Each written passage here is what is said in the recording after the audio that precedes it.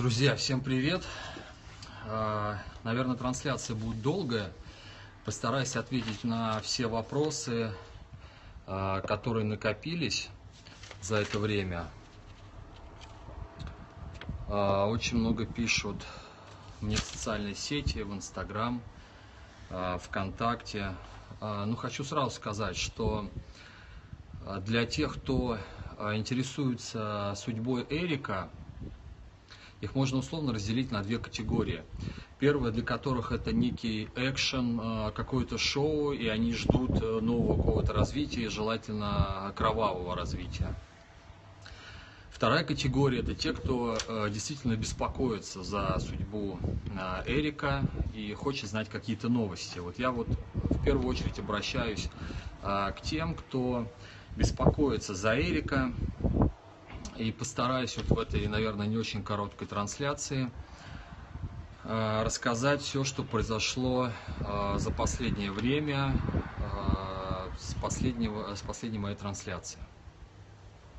Здесь даже записал, вот несколько дней назад был у Эрика в очередной раз, и чтобы все не забыть, я записал на бумажке, поэтому если вы не возражаете, буду поглядывать иногда.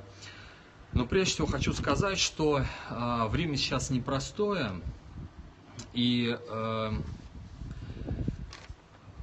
каждый раз, когда мы делаем какие-то действия, особенно если мы ведем активную э, жизнь, мы заводим какие-то какие новые знакомства, друзей, но и получаем новых врагов. Так вот у Эрика их огромное количество, как оказалось. Когда он делал свои разоблачения, сюжеты. Так вот, Эрик за всю свою деятельность сумел э, нажить себе большое количество врагов, и сейчас, конечно, это имеет э, решающую для него роль, и поэтому приходится, приходится с этим как-то бороться. Значит, Почему я редко выхожу, почему мы вас не уведомляем? За всю эту историю мы проводили ряд экспериментов, да, и различных инициатив, и писали письма президенту, и подписывали петиции. Но всю эту историю можно а, образно сравнить с болотом, и какие-то резкие движения, а, необдуманные, они все сильнее и сильнее затягивают Эрика вот во всю эту пучину, и а, возбуждаются новые дела, все больше и больше, поэтому мы, а, проанализировав все, а, решили уйти глубже в юриспруденцию и поменьше привлекать внимание общественности, ну, может быть, до того момента, пока какой-то другой надежды, надежды не будет. Значит, возвращаясь к тому, как я уже раньше сказал, несколько дней назад был у Эрика, и вот он мне а, передал для вас ряд таких пожеланий.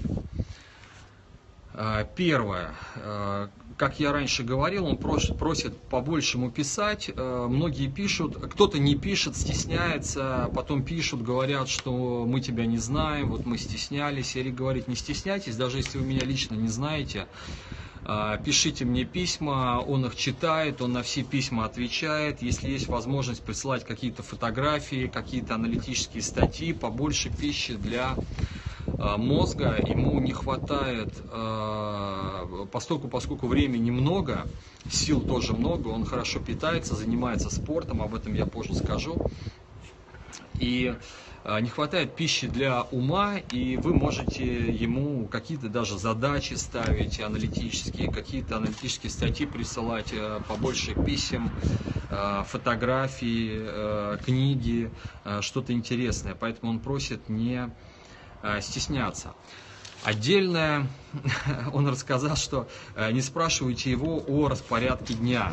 А, видимо, кто-то из вас э, просит э, его рассказать, как строится его день, с кем он сидит вместе. Это тюрьма, и есть определенные законы, и вот эти все письма, они либо не проходят, либо не проходят его ответы вам, то есть он не может вам рассказывать о режиме его содержания, о, тем, о том, с кем он находится в камере, когда он выходит на прогулку, ну, вы должны понимать, что это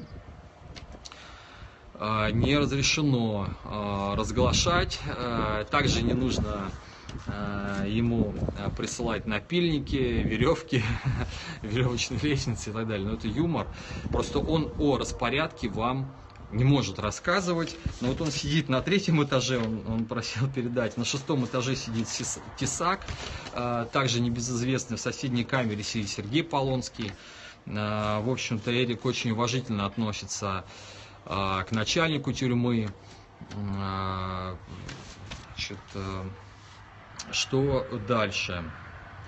Про политику, когда я его спросил, а как ты относишься, то есть э, Эрик смотрит какие-то программы по телевизору, и сейчас идет предвыборная кампания, и он говорит, что, ну, если кто-то из э, э, тех, кто баллотируется в Государственную Думу, хочет провести предвыборную кампанию, пускай, пускай придет следственный изолятор, проведет агитацию, в общем-то, они пообщаются и э, смогут вывести на э, чистую воду тех, кто делает голословные какие-то обещания.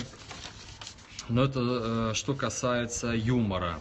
А также про ФСИН письмо, ему приходит огромное количество писем, но он все читает, всем отвечает, и он говорит, что скоро э, владельцы ФСИН письма войдут в Forbes, потому что эта услуга платная, и столько писем, сколько получает Эрик, э, не получает никто в следственном изоляторе вместе взятый. Поэтому благодаря Эрику, то есть первый, кто он говорит, не должен быть заинтересован в его освобождении, это владельцы ФСИН письма. Я просто вот по порядку э, рассказываю о, о том, о чем он хотел вам поведать. Может быть, э, не в порядке логики, но в хронологическом порядке. Я просто записывал.